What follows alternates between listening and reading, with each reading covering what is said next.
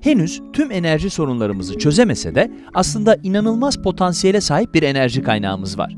Ve bu kaynak güneş ışığından başka bir şey değil. Aslına bakarsanız bir saat içerisinde dünyanın yüzeyine düşen güneş ışığı, bir sene boyunca dünya üzerinde yaşayan her insanın elektrik ihtiyacını karşılayabilir. Bugün güneşin bu olağanüstü gücünden yararlanmak için kullandığımız birkaç yöntem var. Bu yöntemlerin hemen hemen hepsi güneş enerjisini elektrik enerjisine dönüştürüyor. Peki bu nasıl yapılıyor dersiniz? Bu dönüşüm yaygın olarak fotovoltaik hücre adıyla da bilinen güneş pilleri aracılığıyla yapılıyor. Evet, bazı evlerin çatılarında gördüğünüz mavi levhalardan bahsediyorum. Fotovoltaik hücrelerin büyük bir bölümü silikondan yapılıyor.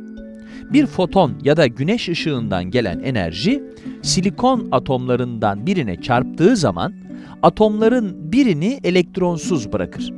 Serbest kalan elektronlar güneş pilinin yüzeyindeki metal ve iletken bir şerit üzerine gelirler. Şerit, bu elektron akışını yani elektrik akımını kullanılabilmesi için pilin dışındaki güç şebekesine aktarır. Tabii güneş enerjisinden faydalanmanın başka yolları da var. Yek odaklı güneş enerji santralleri ya da diğer adıyla konsantre güneş enerjisi sistemleri, devasa büyüklükte aynaları güneş ışığını bir hedefe yönlendirmek için kullanırlar. Konsantre hale gelmiş enerji bir çeşit sıvıyı ısıtır. Isınan sıvı bu sefer de suyu ısıtarak bir elektrik jeneratörünü çevirecek buharı yaratır. Sonuç olarak bu iki güneş enerjisi sistemi de hem yenilenebilir enerji sağlıyor hem de atmosfere sera gazı yaymıyorlar. Peki tüm elektrik enerjimizi neden bu şekilde üretmiyoruz? Güneş enerjisinden faydalanan teknolojiler ne yazık ki pek verimli değiller. Ve yüzeylerine düşen güneş ışığının sadece %25'ini kullanılabilir güneş enerjisine çeviriyorlar. Buna ek olarak henüz güneş enerjisini depolamak gibi bir teknolojimiz de yok.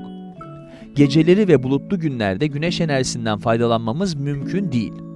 Bundan dolayı da tüm evlerin çatılarına güneş pili taksak bile şu an fosil yakıtlarının yerini tutabilmeleri ne yazık ki mümkün değil. Son olarak güneş enerjisinden faydalanmak için üretilen teknolojiler son derece pahalı teknolojiler. Güneş pilleri son zamanlarda daha ucuza üretilebiliyor ama güneş enerjisi teknolojileri bugün hala kömür, petrol ve diğer yenilenebilir yakıtlardan daha pahalı. Eğer verimlilik, depolama ve maliyetle ilgili sorunlarımızı çözebilirsek, güneş enerjisi bugün kullanmakta olduğumuz fosil yakıtlarının büyük bir bölümünün yerine geçebilir. Henüz o aşamaya gelemedik ama teknoloji her geçen gün daha iyiye gidiyor ve ucuzluyor.